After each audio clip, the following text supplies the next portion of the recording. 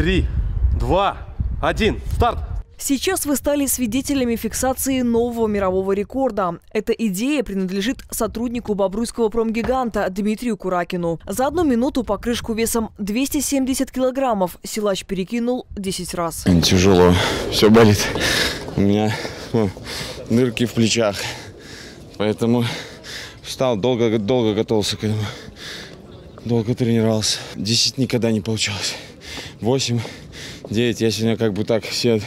Да, это если сделаю 8, будет плохо. Если делаю 9, будет нормально. Если 10, это будет отлично.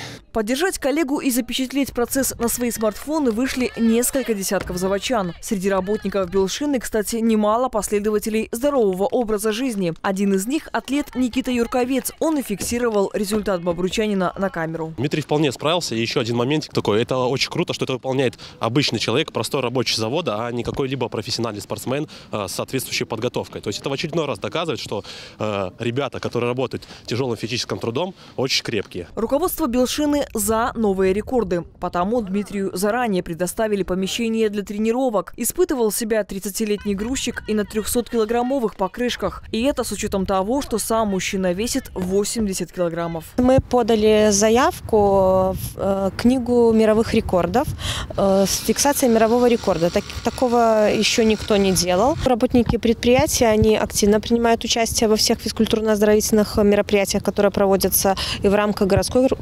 круглогодичной спартакиады, и областной, и республиканской. И э, всегда мы занимаем призовые места, наши работники предприятия. Это очень радует. Сейчас Дмитрию Куракину остается ждать фиксации результата и дальнейшего занесения в книгу мировых рекордов. Мария Бересневич, Дмитрий Шевцов, Бобруйск, 360.